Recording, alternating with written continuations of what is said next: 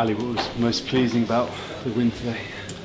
Well, look, I, I probably there's a couple of things. Obviously, the, the way our attack functioned, uh, pleased with that. The pace we got into the game, uh, the tempo, and uh, and we were able to keep ball for good periods um, and, and find a bit of space. Um, coupled with um, you know fantastic shift by the two guys in the second row. You know, uh, we lost two our two our locks on Wednesday, um, so it was, a, it was a late change. The way those guys came in, um, grafted for the team you know, Ollie Atkins put 80 minutes in on, on Monday night for the for the A League um, or the Shield, um, and hopefully he won't have a game tomorrow because we've got another Shield game. But um, uh, the way those guys stepped in was fantastic, and, and obviously pleasing as well to see Richard Capstick get his. Um, get his make his debut for the club and, and did fantastically well when he came on. What was your take on the on the red card? It was obviously a pretty key moment. Yeah, I mean, I don't know whether the game hinged on it. Um, uh, I, you know, I don't think there was anything malicious in there. You know, um, I guess the, the officials had a good look at it, uh, and the difficult thing is if there's contact to the head these, these days, it's, you're, in, you're, in trouble. But I say I don't think it was the deciding factor in the game. I thought that the, the way we attacked the game uh, and the attitude we had with the ball in hand was, was probably key to the, winning the game, um, and I'm pleased with that.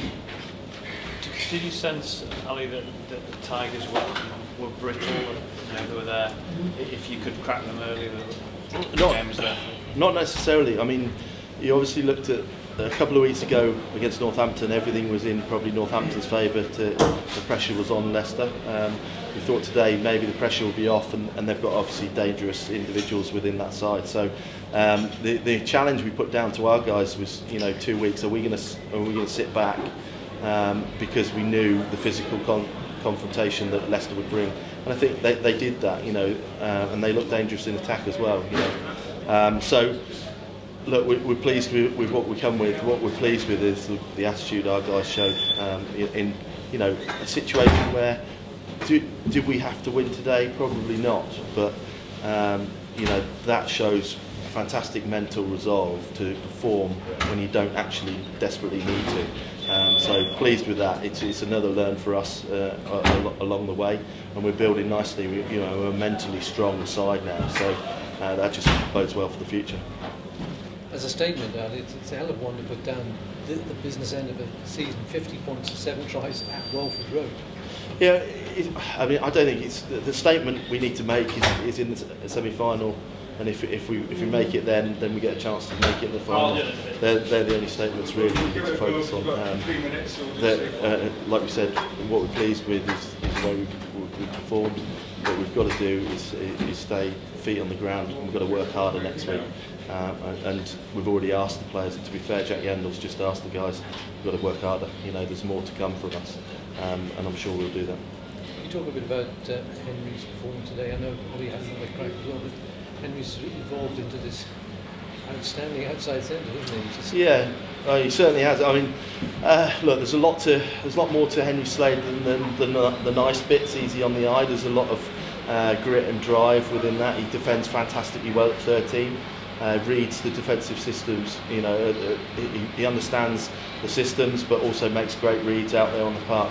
But you know, when he hit that ball at pace, um, it wasn't really a, a, a defensive error or in shape. It was just almost too quick for the defender. So, um, you know, look, he had a, he had a good week off last week. The, the important thing mentally, he's come back from Six Nations in fantastic order. He put a good performance at Bath, had a good rest week. He's refreshed, but he wants to get involved. He wants to get back involved with the club because this competition, you know, for places. So um, just pleased with his attitude, as, as Jack Nowell, you know, as well, coming back in as backs. I uh, couldn't have asked more, more from them. How important, if at all, is finishing first? It's not not important at all. Um, uh, the, the importance is going to be how we perform through to the rest of the season. The rest of the season, obviously, getting top two was was important, um, as was fourth, you know, top four before that. So um, it, it, the relevance of it is is is, is almost it's not. the important thing is uh, the good thing is we got there. We, we, got a home semi-final.